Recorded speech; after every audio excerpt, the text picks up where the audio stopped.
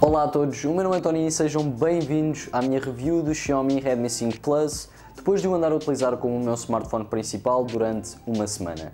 Esta não é de toda a minha review definitiva deste smartphone, até porque só o utilizei durante uma semana, vai ser apenas o relato da minha experiência com este telemóvel depois de o ter utilizado como meu smartphone principal durante esta semana desde que fiz o unboxing, que também podem encontrar o link aqui no meu canal. Este também não será o único vídeo que eu irei fazer sobre o Xiaomi Redmi 5 Plus, portanto se estão interessados em mais vídeos como truques e dicas, razões para comprar e não comprar este smartphone e até mesmo uma comparação com o meu Xiaomi Mi A1, não se esqueçam de subscrever porque esses vídeos estão muito próximos.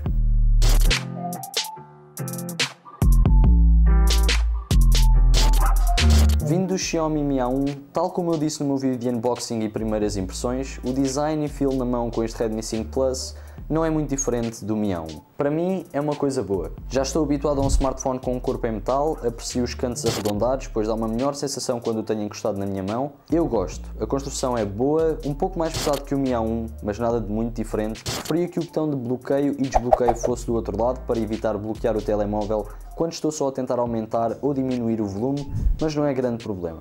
O sensor de impressões digitais está numa posição fácil acesso, é rápido e bastante preciso. Em termos de looks, é um dispositivo Xiaomi e com um design familiar. Eu tenho o meu em preto, ele vem disponível em mais cores, mas eu gosto mais de preto e não estou arrependido de ter escolhido esta versão. Para terem acesso a preços e disponibilidades para as duas versões deste dispositivo, porque há de 3 GB de RAM e 32 GB de ROM, e a de 4 GB de RAM e 64 GB de ROM. Existem várias cores também, portanto eu vou deixar os links todos aqui na descrição para que vocês possam ver preços e disponibilidades mais rapidamente pela cor e pela versão que vocês querem.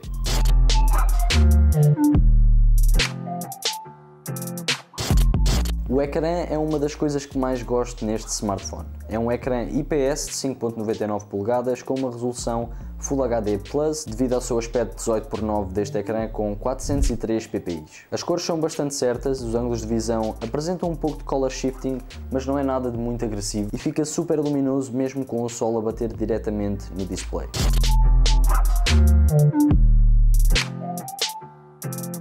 Falando um pouco de performance durante esta semana. É um Snapdragon 625, o mesmo que vimos no Mi A1 e um ao qual eu já estou habituado. Mas devo dizer que no Mi A1 a experiência no OS é muito mais fluida, visto que é stock Android. Testemunhei algumas travadelas na MIUI aqui no Redmi 5 Plus, só mesmo quando queria fazer tarefas básicas no sistema operativo, como multitasking ou scrolls por aplicações como Instagram ou YouTube. Mas mesmo assim, pelo preço e pela quantidade de vezes que isso aconteceu, não creio que seja um deal breaker. Acerca da MIUI, eu não gosto de skins. Com toda a seriedade, eu sou um grande fã de stock Android, daí o meu apreço pelo Xiaomi Mi A1. E esta MIUI, embora tenha funcionalidades interessantes como a divisão de ecrã, acionar o modo silencioso apenas com um toque no botão de volume, como deslizar três dedos para tirar uma screenshot, são coisas muito agradáveis. E até houve outra funcionalidade que eu adorei que se chama Ecrã Infinito. Não sei se isto já estava disponível em outros smartphones da Xiaomi, mas basicamente o que o Ecrã Infinito faz é remover os botões em baixo no display e ensina-vos um monte de gestos para que possam começar a controlar o vosso smartphone de uma maneira completamente diferente. Fez-me lembrar os gestos do iPhone X, embora sejam um pouco diferentes, mas basicamente é o que vos dá, vai-vos fazer com que tenham um ecrã infinito e não tenham os três botões habituais a ocupar aquela parte inferior do display. Neste Redmi 5 Plus podemos encontrar a MIUI 9.5, no topo do Android 7.1.2, mas como eu disse há pouco, skins não são muito a minha cena, por isso eu instalei o Nova Launcher e coloquei o smartphone ao meu gosto. Jogar neste ecrã é muito agradável. Jogos como Real Drift, Asphalt, jogam-se muito bem e mesmo em tarefas diárias o smartphone comporta-se muito bem, tirando aquelas travadas que eu mencionei há pouco. Com este display o consumo multimédia também é muito fixe. Os speakers são medianos, alto pelas linhas do Mi A1, um bocadinho mais altos na minha opinião, mas acontece o mesmo, fica um pouco distorcido quando estamos a tentar ouvir música ou ver vídeos com o volume no máximo. I got a pretty girl on the east side. We both scared of love, so she only comes at midnight. The good times.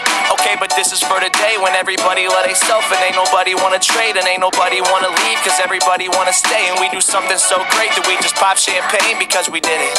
I lost my childhood friend, he caught a case in high school and I ain't even seen him since. But like a period, I'm waiting for your sins to end. Joey, this one for the day when you. Algo que não fica distorcido é quando vocês conectam os vossos fones pela entrada jack 3.5mm para headphones. É verdade, este é um ponto muito positivo. especialmente para mim. Eu adoro o facto destes smartphones ainda terem essa entrada e o consumo multimédia também passa a ser muito mais agradável sem terem de utilizar dongles ou adaptadores para poderem conectar os vossos fones. Para chamadas também se comporta muito bem, ouve-se bastante bem, quer de um lado, quer do outro, nunca tive reclamações das pessoas não me ouvirem enquanto estou a fazer uma chamada e vice-versa não tenho problema nenhum. Algo que também aprecio bastante no corpo deste Redmi 5 Plus é o facto de ele também trazer um sensor de infravermelhos. Esta foi uma coisa que eu me habituei bastante ao ter o Xiaomi Mi A1, nunca mais tive de procurar os comandos da televisão ou da box pelo sofá todo para que possa mudar de canal ou simplesmente desligar a televisão.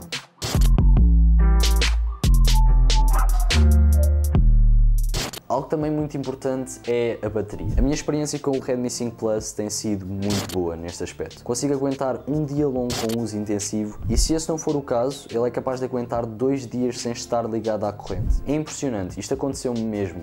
Nos primeiros dias que eu tinha o Xiaomi Redmi 5 Plus, eu não o estava a usar tão intensivamente porque ainda estava numa fase de transferência do Mi A1 para este smartphone. E durante essa semana, o Xiaomi Redmi 5 Plus aguentou-me dois dias sem eu ter de ligar à corrente. Uma justificação para isso pode ser a bateria bateria de 4000 mAh que este menino tem. Falando em carregamento, algumas pessoas ficaram um pouco chateadas por ainda trazer uma entrada micro USB ao invés de a mais moderna, tipo C, mas para mim não é assim um big deal.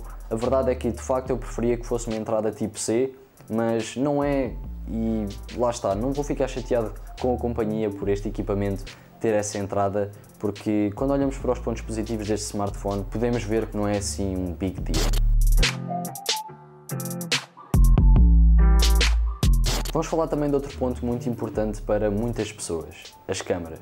O Redmi 5 Plus conta com uma câmera traseira de 12 megapixels e as fotos são muito decentes. Considerando o preço, o Xiaomi Redmi 5 Plus apresenta grande qualidade. Ao invés de ter duas câmaras como o Xiaomi Mi A1 ou até mesmo duas câmaras como algumas empresas estão a tentar implementar nestes budget smartphones que acabam por não fazer assim grandes resultados quando toca a tirar fotos ou a gravar vídeo, o Xiaomi Redmi 5 Plus apenas conta com uma câmera. E esta câmera tira fotos com bastante detalhe, cores vivas e o Dynamic Range é bastante decente. Tem ainda um flash para auxiliar nas fotos com pouca luminosidade e à noite, e este smartphone durante a noite também não é assim tão mau.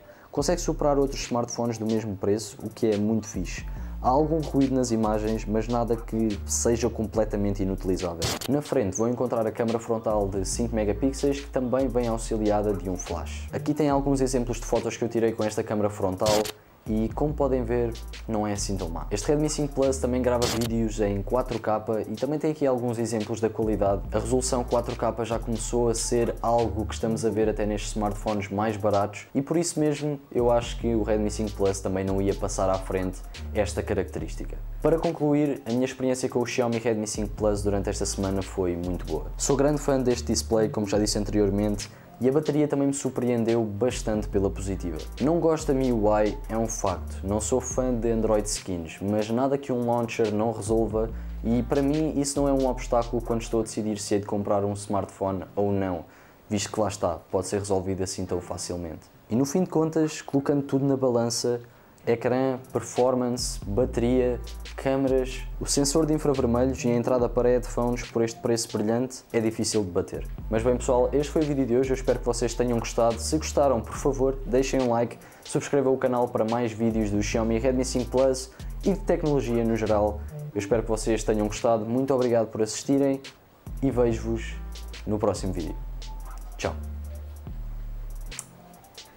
Yeah, acabou. Acho que ficou fixe, acho que ficou fixe.